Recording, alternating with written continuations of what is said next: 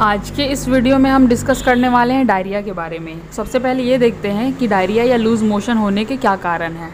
तो देखिए, ये हैं उसके कॉज वायरल कॉज ये है वायरल कॉज वायरस की वजह से भी डायरिया हो सकता है। ये है बैक्टीरियल कोज बैक्टीरिया की वजह से भी डायरिया हो सकता है या प्रोटोजोवल कॉज उसकी वजह से भी डायरिया हो सकता है।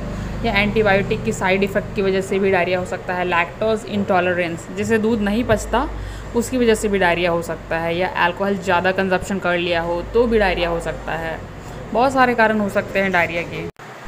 अगर किसी पेशेंट को डायरिया हुआ है, उसको वायरल कॉज हो तो उस केस में उसे कोई भी एंटीबायोटिक नहीं दी जाती है। इफ़ वायरल कॉज की वजह से डायरिया हुआ हो तो वह अपने आप ही ठीक हो जाएगा। अगर डायरिया ठीक नहीं हो रहा हो वायरल कॉज की वजह से तो इस केस में बॉडी से वाटर और इलेक्ट्रोलाइट्स का लॉस होता है, जिसकी वजह से डिहाइड्रेशन हो सकता है उस पेशेंट में जिससे डायरिया है। वायरल कॉज की वजह से। तो इस कंडीशन में पेशेंट को ओआरएस दिया जाएगा ताकि डिहाइड्रेशन से बचा जा सके। ओआरएस तो कंपलसरी है डायरिया लूज मोशन के केस में। ओ आर डिहाइड्रेशन से बचाएगा, चाहे डायरिया किसी भी वजह से हुआ हो। जो भी इलेक्ट्रोलाइट्स वाटर मिनरल्स का लॉस हुआ है बॉडी से, उसे मेंटेन करेगा ओआरएस तो ओआरएस को कंटिन्यू पिलाना है। अगर बैक्टीरिया या प्रोटोजोआ की वजह से डायरिया है तो उस कंडीशन में एंटीबायोटिक का यूज़ किया जाता है। अब इसका ट्रीटमेंट देखते हैं कि डायरिया को कैसे ठीक करें।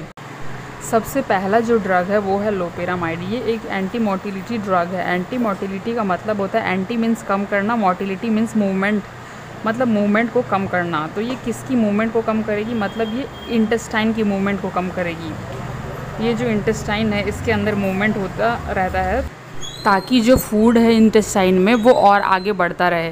अब ये जो इंटेस्टाइन है, इसकी मूवमेंट हो रही है। अब जिस भी पेशेंट को डायरिया है, उस पेशेंट को अगर लोपेरामाइड दी तो लोपेरामाइड जो कि एक एंटी मोटिलिटी ड्रग है मतलब ये इंटेस्टाइन की मूवमेंट को कम कर देती है। जिसकी वजह से ये जो फ़ूड है, जो आगे बढ़ रहा था मूवमेंट की वजह से अब लोपेरामाइड ने इसकी मूवमेंट को कम कर दिया है।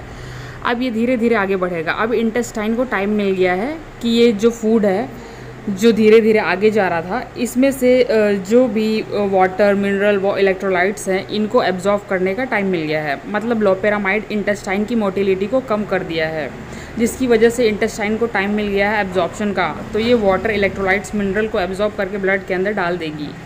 और लूज़ मोशन या डायरिया में वाटरी फ्लूड आता है। अगर ये एब्जॉर्ब करके ब्लड के अंदर भेज देगी तो जो डायरिया है वो नहीं होगा। जो डाइजेस्टिव फ़ूड है वह स्टूल में कन्वर्ट होगा, वो वाटरी नहीं आएगा। नॉर्मल स्टूल पास होगा। तो इस तरीके से लोपेरामाइड डायरिया को ठीक करती है। अब इस टैबलेट के डोज की बात करें तो जो भी बच्चे छः साल से नीचे हैं, उन्हें ये यूज़ नहीं करना है।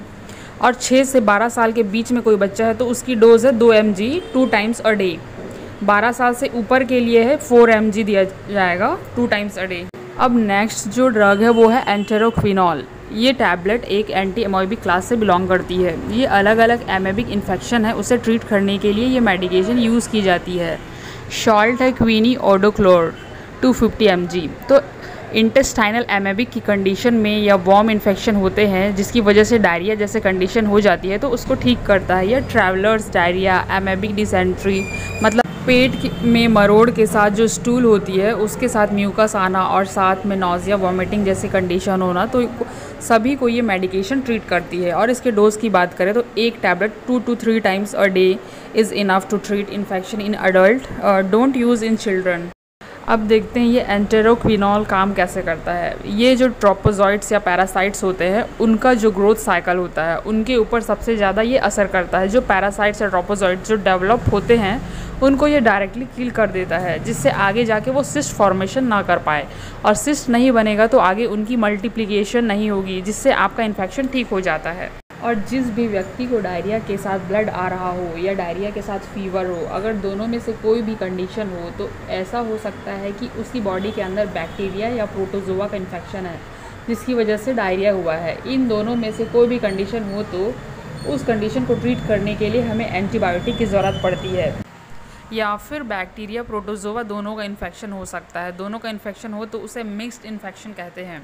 उसके लिए मेडिसिन यूज़ की जाती है ओफ्लोक्साजिन प्लस और निडाजोल या नॉर्फ्लोक्साजिन प्लस टीनिडाजोल जो कि अलग अलग ब्रांड नेम से अवेलेबल है मार्केट में। इन दोनों मेडिसिन में से कोई एक दवा लेनी है या फिर ओफ्लोक्साजिन और निडाजोल के साथ एंट्रोकिनॉल टैबलेट भी ले सकते हैं, जो कि बहुत ही असरकारक दवा है।